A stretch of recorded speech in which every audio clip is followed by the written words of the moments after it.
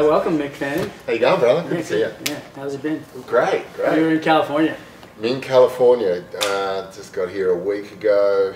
Uh, here, obviously doing work, but also um, seeing the grandparents that couldn't make it to Australia to see our first child. What's the child's full name? His full name is Xander Dean Fanning. So uh, Xander means to the defender of men. Uh, Dean is after Bree's father who passed away, um, and then Fanning obviously is know. a descendant. Like my sons, they surf. Being in the water with them and seeing them surf and feeling that kind of stoke is, is one of the most magical things I've ever felt in my life. I guess people sit there and, and they tell you, oh, you're having a kid, it's the best thing ever. But they don't explain it.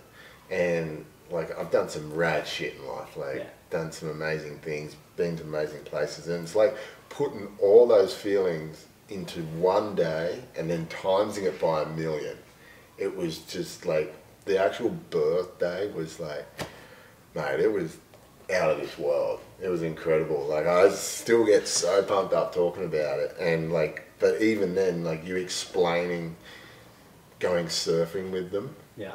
it's like It's another level. it's like hurry up, kid, and grow up, but don't. Yeah. Oh man, I can't wait to snake him.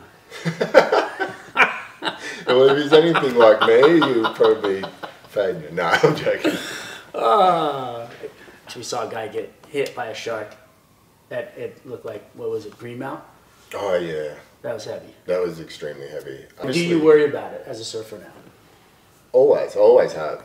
Um, you know, I'm, I, I just did a shark doco and I swam with sharks and I was hanging with shark experts and, you know, talking to them about exactly what we're just about to talk about. And I think the root of the problem is it, there's more of us out there. There's more cameras, and so we're seeing Seeing more, more. and everyone's seeing them. Um, but yeah, I, there's something something has changed in Oz. I think just because there has been that many attacks, but um, I guess the one thing that I try and keep pushing is that culling or killing them out is not the It's not the it's not, not the, the solution. Yeah. It's it's just it's a knee jerk reaction to what's happening. I feel we need to be smarter and we need to get more data on exactly what's happening with them Yeah. um, and and figure out why they're migrating to these places and and coming Because we are in their house. Oh, 100%. Like, the- the best analogy, I was talking to one scientist, and he goes, if you're in the African jungle, are you going to get out of the truck and just walk through the bush by yourself? Shit, no.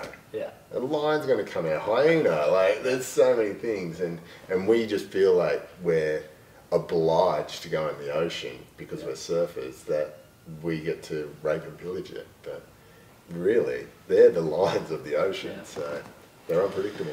There was one morning I was so jet lagged and I thought the sun was coming up earlier, and I jumped out and I just didn't feel right, and it was still dark, and so I paddled back in, and then I waited on the rocks for someone else to come out, and it was Otto, and I jumped out, and for some reason there was heaps of fish in the water, and they just kept hitting me. And I'm just like, no, just go away. And I was freaked out. And that was like one of my first surfs there and that year. And, and it, I still remember it. And uh, yeah, Otto was just like, I knew it from that very moment that was going to happen. I was like, thanks, mate. Thanks, mate. well, guys. Thank you. Cheers, was good to see you, brother. Yeah, bro. Yeah. We'll surf too. Yeah. Come up to Malibu. For sure, I'd love to. Hang out.